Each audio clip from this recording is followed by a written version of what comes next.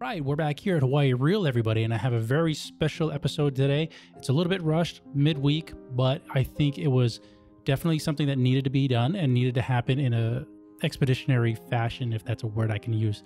So I wanted to bring on two of Honolulu's bravest from the Honolulu Fire Department that have been making a little bit of waves in this recent week with uh, mandated vaccinations that are going around whether you'll have to lose your job if you don't get vaccinated. Whether you agree with it or not i wanted to bring them on because i wanted them to have a voice and have a story and put out, put together a platform where they can voice that opinion in a long form content. So here we go. All right so i have on today kaimi pelekai captain of uh, Kalihi Uka Fire Station. Kalihi Uka Fire Station with Honolulu Fire Department. Yes. and Ikaika Schilling Yep, aloha gang. Um, engine 43, second watch. So that's East Kapolei.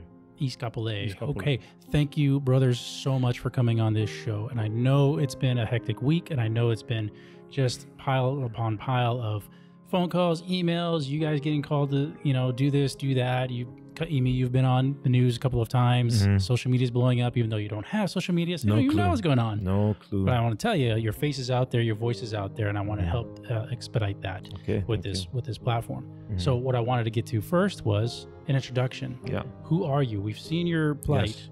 but we want to know who is Kaimi Pelekai? Well, thank you uh, for asking. So, I was uh, born and raised in Nanakuli, Oahu. I went to Nanakuli Elementary School. My parents are Henry and Lurleen Pelekai. Um, my father was a firefighter for 37 years, also an entrepreneur. Uh, he owned a number of different ventures. Probably his big. He started the first surfboard shop in Waianae back in the 60s because that's what he did growing up surfing. And then he went into commercial fishing. My dad, he, you know, he, he went graduated from Waianae High School, but he was no scholar. He went to Vietnam like a lot of people. Uh, but when he came home, he had ambition. We had a commercial fishing business. So I grew up fishing with my dad. He flew the airplane. We worked on the boat. We, we caught around Akule.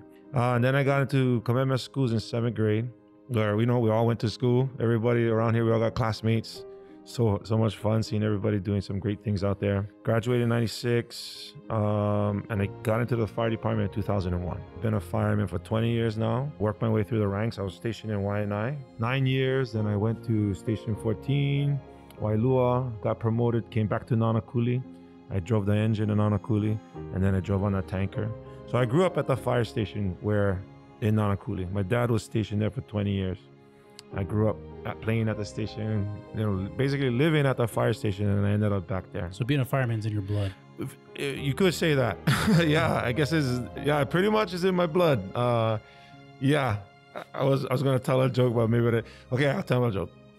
Uh, in the fire department, old days, all the kids of the fire firemen used to come to the station, and I, I jokingly say I had my first kiss in the fire station with one of the other firemen's daughters. Oh. But we were little kids, you know. I was going to stop there with one of the other firemen. Yeah, Like, no, "Oh, yeah, yeah. Hey, we're not Hey, that didn't happen until I was an adult. No, I'm just kidding. But yeah, you know, so I fire firefighting, being around the fire station is definitely in my blood. So I was stationed there as a driver for five years, and then I got promoted to captain, and now I'm in Kalihi. So that's the story. Married? Uh, yep. My, uh, yes, my wife, and we have a little dog, and that's our family. nice, Mhm. nice. And yet we were high school classmates from Kamehameha. Isn't that crazy? Yeah, and this is the first time we've seen each other since 20 graduation. years, Yeah. maybe more. It's a great reunion. Who knew? Yeah, exactly. So when I saw, saw Tony Kalahui on there that day, I was like, oh, this is awesome. I mean, I don't know about the timing of me coming on, but yeah, that's cool. That'll Right make it work. Yeah, It's good though. It's good to see you. Thank you very much, sir, for having me. Ikaika, All right. what's your what's your story? Are you from Hawaii? Yeah. Yep. So Where are you from? born and raised in Kahaluu, but like so many other families here, our family, you know, wanted bigger, better things. So high school time ended up having to move to the mainland.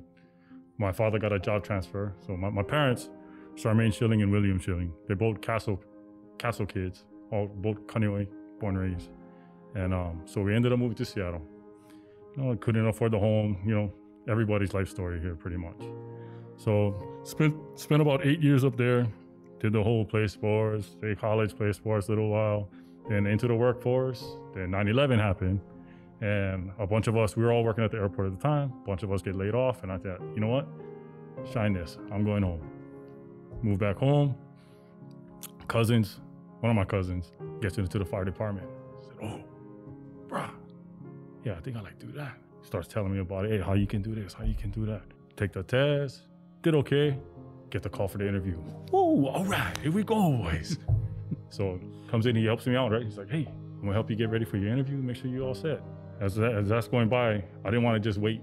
So went back to school to get my EMT certs and all that, just so I can, hey, start helping the community earlier. I don't want to wait around.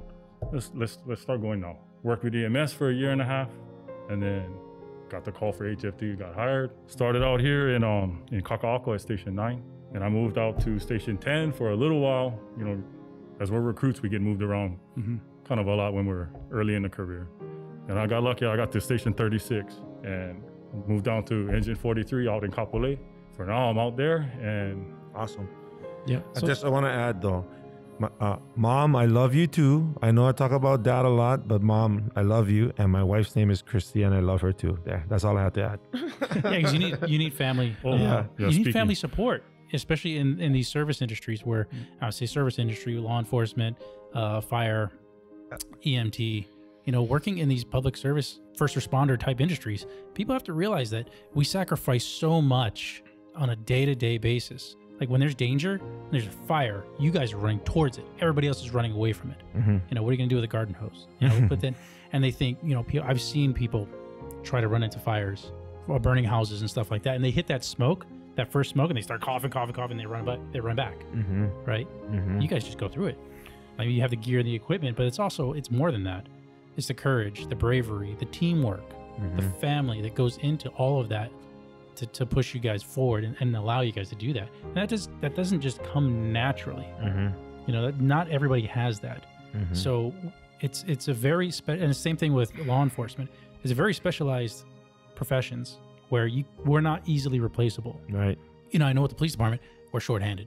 Mm-hmm. I don't know about you guys. Are you guys Oh, yeah. like shorthanded? Mm-hmm. Yes, absolutely. Is, is recruitment really hard these days? Uh, it's not hard, but you just have uh, how do I put that? You know, the the people who stay on or so, the people who come in, sometimes it's, it's not for them, and they find out that they want to do something else, and you, so you got some attrition there, and you have a lot of people retiring. It's it's just what it is. It's just normal the way things work. I What do, you, can't. what do you love about your job? Oh, uh, well, there's the camaraderie and all that stuff, but hel- helping, you know, making a difference when people are in need, showing up and fixing their problems in, in as much as we can. That's the thing about firemen. That there's a joke, right? Where jack, the jacks of all trades, as they say, because you kind of got to know how to fix this, and then maybe there's that problem, you know, because that's what we do. When there's a problem, we come in and we fix it. So Cats in the it's part of trees. it. You gotta go get them. Yeah, yeah. Never I've, find I've dead had some pretty ridiculous ones though. Cat in a tree, mate. I've had a duck in the water. A duck in the water. Yeah. You got What- called to a duck in the water. Oh, Cap. When, when we were in Mililani, a duck in distress. We pull up, duck just swimming in the water. and Auntie's on the side of the road. No, it's it's in distress. I, I can feel its pain. oh. Yes. So I've been, I've been called to too much water after a flooding. Yeah. Like, it's flooding from the neighbor's house into my house. It's like it's been raining for 40 Yeah, days, yeah, bud. yeah, what, what do you want me to do? Yeah. What do you want a cop to do for that? Uh-huh. Sorry, But I'm not the- Moses. Yeah, but at the end of the day, you show up, you give good customer service, Yep. you do your best to talk the person down and try to understand their position, and then let them know, you know, maybe there's not really an emergency with a duck floating in the water. but that's okay. We showed up, we Yeah, were there. We were there. You call, we come. That's the idea. Awesome. Okay, so bringing you guys on the podcast, uh, the purpose of that was to really discuss and get into detail your guys' side of the vaccination mandate that is going on with the city and county of Honolulu. Mm-hmm. So What what was uh, your take on that, and how has it impacted your life? Well, it's been an interesting 10 days, I think, since all this has come down. So I believe the governor made his proclamation on August 5th. And basically, it was saying you have to get vaccinated or you have to test. For the most part, all the other counties in the state of Hawaii interpreted his mandate as a testing mandate, where those counties are giving their employees the, the ability to choose taking the vaccine, or to put it more correctly, taking this experimental drug, because it's not really a vaccine. It was it was came to light under an emergency youth authorization. So you, if you read the paperwork that comes out when you take the shot, it's clear that it's not a quote unquote vaccine. It's an emergency use experimental drug. So the outer islands, the neighbor islands, are all interpreting the governor's mandate as a testing mandate. So they're allowing their employees to literally just check a box. Either you're vaccinated, or you're going to get vaccinated, or you don't want to get vaccinated, you're going to test. And that's it. That's all the, the county of Hawaii, Kauai, Maui, that's all they got to do. Just check a box. Now, there's some problems with the testing, you know, but we can talk about that later. The real issue is that Mayor Blangiardi took the governor's mandate and twisted it to become this vaccine mandate, this experimental drug mandate, where the city and county workers in Honolulu, they don't have the ability to just check a box. They have to go through this religious proctal exam and prove to the governor that they are Or the mayor. I'm sorry, exactly. Prove to the mayor that they have, I don't know, the correct religious position to choose to test. So if they want to not take the experimental drug, their only options are to apply for a religious ex- exemption or a medical exemption. And if either of those are approved, then they can test. Very different. So there's an approval process for the testing, whereas the outer islands is just checking the box. And I think the public doesn't know that. They think the city and county workers just get to check a box like the neighbor island guys. But it's absolutely not true. Li- listen to what I'm about to tell you because it's not going to stop with us. If you look at a press conference the mayor just gave, he's expecting to put what he's doing to us right onto you. And so we're not just fighting for the employees. He said he's going to make it mandatory for the public as well with these passport things, where if you want to go into the bar, you got to have a passport. You want to go into the movies, you got to have a vaccine passport. You can't go anywhere without it. So it's not just going to stay here. I, and I can't tell you why he's on this tirade of wanting to stick people with needles, but he, it's obvious that that's what he wants. So the end of the day, review. The neighbor islands can just check a box and choose testing over getting stuck with the experimental drug. Honolulu, you got to pray to Mayor Blangiardi and beg him to to see your innermost religious beliefs as worthy of choosing testing. I mean, Ikaika, would you say that that's accurate? That that's absolutely accurate. And don't get it wrong, we're happy for our brothers and sisters on the outer islands. Awesome for you guys. But like how Cap was saying, our next is on the line right now. But it's gonna roll down to everybody else. And I'm a father of four, and I've already seen it rolling down on my kids. My daughter, she's an athlete. She's going into her junior year. Junior year is huge. A lot of recruitment happens junior year. I don't want her to get that vaccine or quote unquote vaccine, that experimental drug. I don't know what it's going to do to her. How can I look at her and tell her, I'm not going to allow you to take this, knowing that she's invested so much into accomplishing her goal of playing in college? I'm willing to say, no, you cannot take that. And I'm going to turn around and take it? Absolutely not. You have to have convictions and stand behind them. And so you see, like that's that's the multitude of different positions that exist out there. Like you know, for some people, it's just their religious belief, but for Ikaika, it's because of safety and it, and it, in in the experimental drug, what it's going to do to his daughter, and his own conviction. If he doesn't want it for his child, he feels like he can't take it either. You know what I'm saying? Mm-hmm. So so he has so many reasons not to take the experimental drug that Mayor, Mayor Blangiardi should just allow us to pick not to take it, right? Like, why do we need to prove to him we have the right religious beliefs to be able to bow out when everybody on the neighbor islands just can just go, nah, I don't like. So that's how we got here. I, I- and I mean, I don't mean to put words into your mouth, but that's what I hear you saying. A- absolutely. And it's not just because of, you know, teaching lessons to my kids. That's deeply how I feel. right. I was given the ability through my creator an immune system that can protect myself. Okay. I trust in that. I don't need somebody else telling me what I have to put into my body that I don't see fit. Because where does it stop at that point? We had the COVID 19. Now we have Delta. They got Lambda coming out there, Echo, and all these. They, they got like 13 other ones that they already have named. Hmm. So are, are we going to have to have Vaccinate mandated for each boosters one? for each one? I mean, wh- when does it stop? Yeah. Yeah, exactly. And and every step of the way, if we give and we give and we give, I mean, you guys gotta know that it, once you give government a little piece of power, they're not gonna give them back. It's so hard to get back your freedoms once you give them up. So that's why we're here, and we want to tell the public that you know we- we're not against the vaccine or those who want to take it.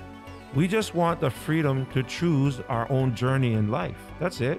And we don't want to have to beg the mayor for that choice because we don't feel it's right. So, from what I read in our policies, when you fill out your exemption, you confess your religious belief, you sign your name to the paper, and then it goes to a three panel committee at Frank Fasi Building or whatever it's called nowadays, HMB, whatever, Honolulu Municipal Building.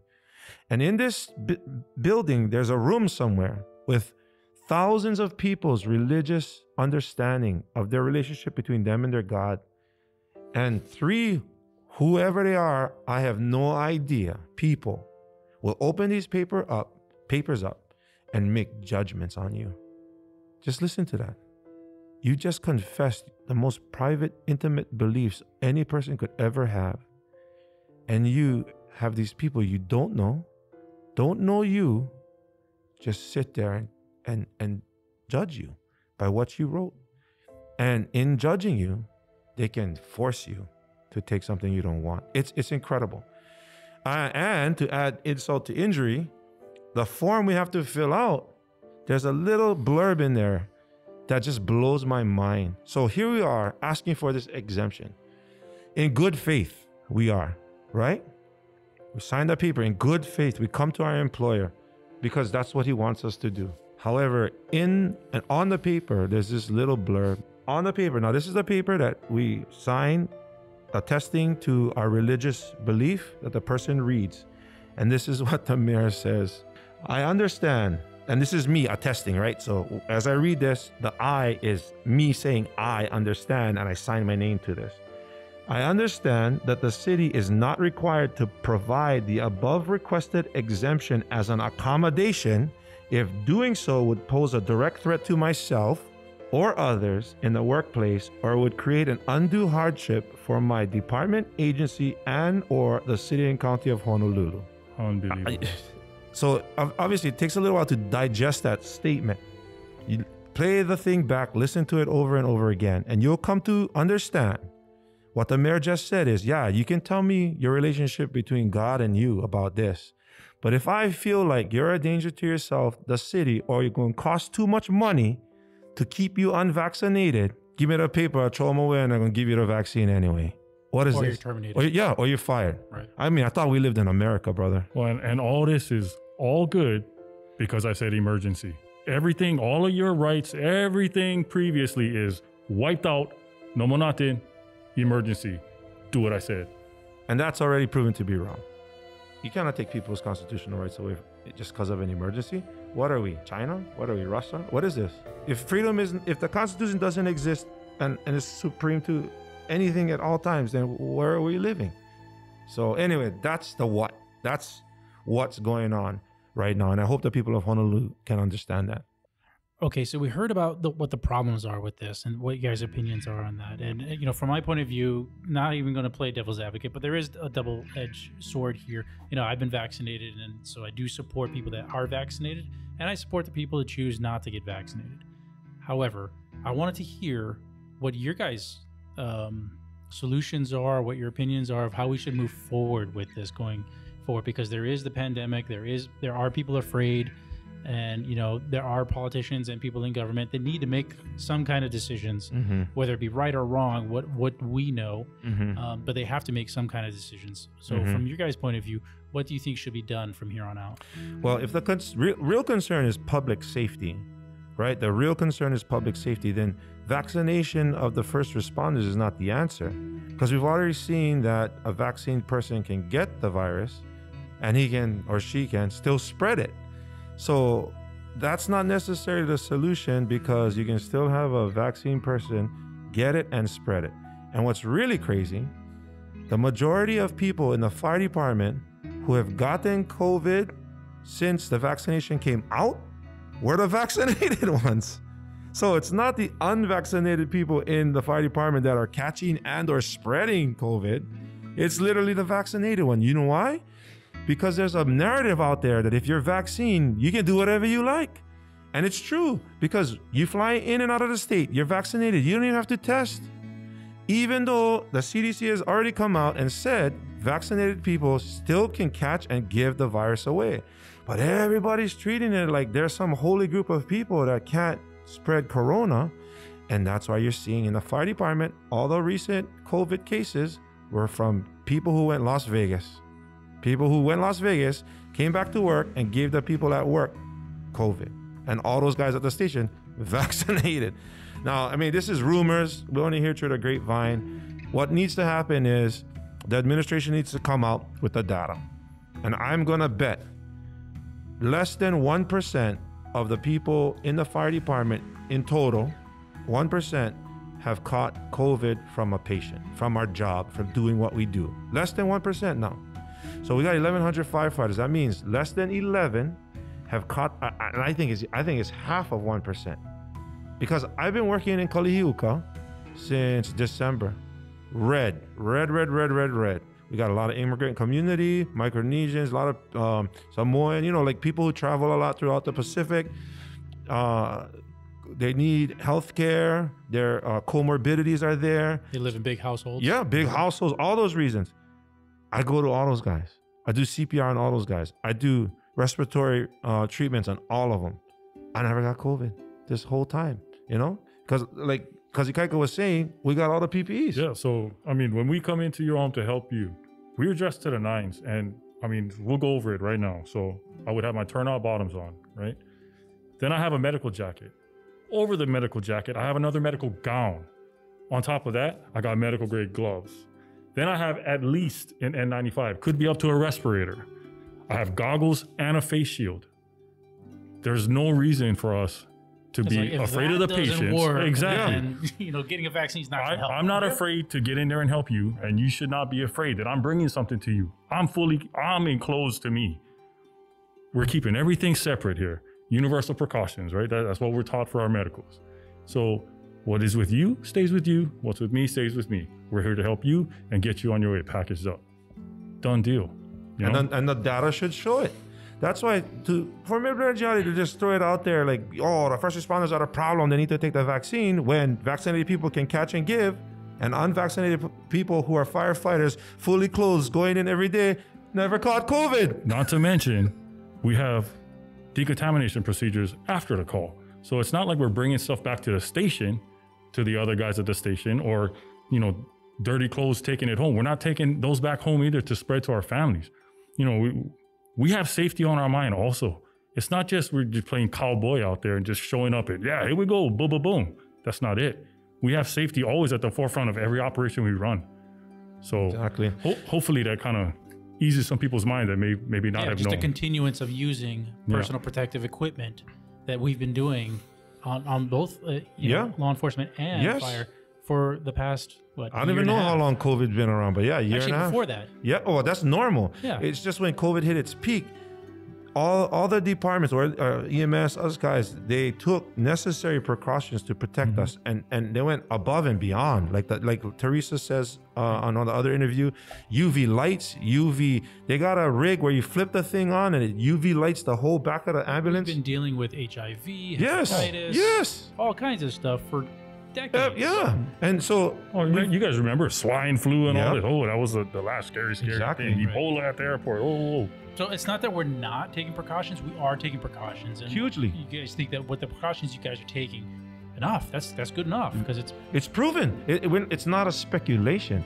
Bring the data out. Let's say we went to, since COVID started, let's say we went to 10,000 COVID cases. 10,000 COVID cases. How many personnel caught COVID from the 10,000 COVID cases? I would bet it's less than 10, maybe five, maybe even less than that. Because you, the truth is, I think I heard re- a, a rumor today that out there in the public that a firefighter went to a COVID call. Oh my gosh, and nobody reported it. Because we don't. We go to COVID calls every day. We do CPR on COVID people every day. The only time we report an exposure is if the COVID patient coughs on us without our gear on. That's it. So that's the only time. And guess what? We don't report exposures. Why? Because we always have our gear on. The only time it happened is when they were carrying a COVID patient downstairs in his carry seat, and the, the carry got tricky, and the guy's glasses got smashed off his face, but he's carrying the patient with hmm. two hands, so he can't drop his patient to fix his glasses. And as his glasses went down, she coughed in his face. Mm-hmm.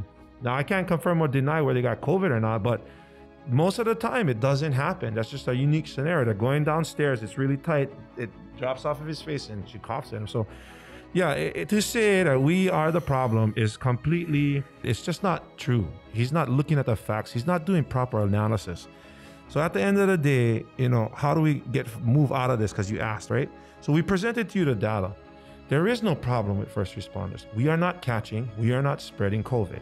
So to come out and say, if you're a first responder and you're unvaxxed, you need to get vac- vaccinated to save the plug from COVID is completely false. Well, it's not even first responders now. It's all city workers. Right. And yeah, so well, that's even not, that's even more crazy. Well, yeah. You're a secretary at the uh, Ar- Lyon Arboretum and you got to get one vaccine. What? What are your chances of coming across? You work outdoors every day at Lyon Arboretum doing weed whacking. Why you got to take one COVID vaccine? You're never going to, like, you're outdoors. We already say it's outdoors. So it's insane. It's really nuts when you think about it. I don't know. Oh, absolutely. So I, I, I guess if there's anything, if you had to do anything, it would be test everybody. You know what I mean? Like if you had to pick, if you wanted a public health safety uh, technique to try and take care of this, it would probably be to test everybody. But even that's not necessary because we, we already do on self check when we come work. Because even during the height of the pandemic, you guys were, you guys had testing facilities going around or testing people Yeah. going around to your stations. Absolutely. And e- we, we could think about it this way also. Okay, no problem with people that want to get the vaccine. Great, do what you have to do, what you think is right. But as we've shown, the people with the vaccine can carry a higher viral load without showing any sign or symptom. Okay, so they could be walking all over work and nobody's even thinking that they're sick at all. Okay, whereas maybe somebody that's not vaccinated, they might have a smaller viral load and be showing symptoms. So who's more likely to be a super spreader, so to speak, right? The guy that does not vaccinated, oh, I'm, not feeling too good. Hmm, maybe I better check, stay home. Or the guy that doesn't feel anything at all because I'm vaxxed, I can handle a higher viral load without the side effects and just go Come- about my daily daily routine. And that's what happened recently. A uh, vaccinated guy felt great, no problem, came to work and he was positive. But what their paperwork shows is that they only want the unvaccinated to, To be forced to test. Well, Now, is that test, safe? The CDC came out that the test doesn't necessarily differentiate between the flu. No. Absolutely, And they never COVID. they never solidified the Right. SARS-CoV-2. They came out with that on July 21st. Yeah. It's on their website. So this is see, and we don't want to get into the minutia here Right. because you can have people come with all kind of statistics and all kind of facts and talk about all kind of things. At the end of the day, I guess the best thing to say is we're unsure. We're unsure. It's uncertain. The best thing when that happens is freedom. When we're unsure, let people choose for themselves because that's their personal decision. Once the government tries to tell people what to do, we get into danger. So I guess if you had to get it down to anything, we should test everybody, make it equal because vaccine vaccinated people can catch and spread. Unvaccinated can catch and spread. So test everybody. And then you monitor yourself like we already do. If you're feeling unwell, stay at home. Uh, We already come to work. There's a check sheet. We got to ask. We got to take our temperature. All of that's in place already. So we're good. We don't need any more. And the data shows it. All right, guys. I want to thank you so much for coming on this show and and sharing. Um, I hope the best for you guys. You know, you guys have my support. I think you have a support of a lot of people that aren't coming out necessarily being vocal about it just yet. Oh, Thank you, brother. Good to see you. All right. Thank you. Awesome. All right, everybody. Stay happy, Hawaii. Aloha.